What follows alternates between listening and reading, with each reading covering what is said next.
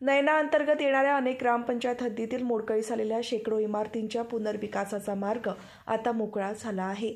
त्या अनुषंगाने या संदर्भात शासनाने नुकताच शासन निर्णय जाहीर केला आहे. त्यामुळे या क्षेत्रातील नागरिकांना मोठा दिलासा मिळाला असून आमदार प्रशांत ठाकूर यांची मागणी आणि त्यांनी केलेल्या सातत्यपूर्ण पाठपुराव्याला यश आले आहे. नैना क्षेत्रातील सुकापूर पालीदैवत कोळखे आणि आजूबाजूच्या परिसरातील गावांमधील अनेक इमारती मोडकळीस आल्या आहेत. मात्र या ठिकाणी या इमारतींचा पुनर्विकास नैनासंदर्भातील नियमामुळे होत नव्हता. त्यामुळे या मोडकळीस आलेल्या इमारतींमध्ये सदनिका धारकांना भयभीत राहावे लागत होते. काही अपघातही या मोडकळीस आलेल्या इमारतींमध्ये झाले आहेत. त्यामुळे हा प्रश्न गंभीर असल्याचे आमदार प्रशांत ठाकूर यांनी सातत्याने शासनाच्या निदर्शनास आणून दिले.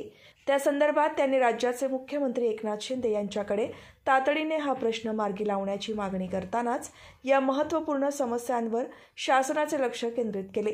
तसेच नगरविकास खात्याकडे सातत्यपूर्ण पाठपुरावा केला.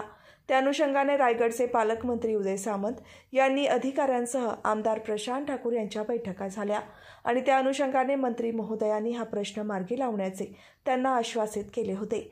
त्यानुसार विशेष नियोजन प्राधिकरणाने यू डी सी पी आरमध्ये फेरबदल करण्याच्या सादर केलेल्या प्रस्तावास शासनाने पंधरा मार्च दोन हजार चोवीस रोजी मंजुरी दिली आहे. त्याप्रमाणे जुन्या मोडकळीस आलेल्या धोकादायक इमारतींच्या पुनर्विकासाची तरतूद यामध्ये करण्यात आली आहे आणि हा फेरबदल तात्काळ लागू करण्याचे निर्देशही त्यात देण्यात आले आहेत. त्यानुसार तीस दिवसांच्या कालावधीत आम नागरिकांकडून हरकती किंवा सूचना मागवण्यात आल्या आहेत. यासाठी शासनातर्फे कोकण विभाग नगर रचना सहसंचालक यांची अधिकारी म्हणून नियुक्ती करण्यात आली आहे.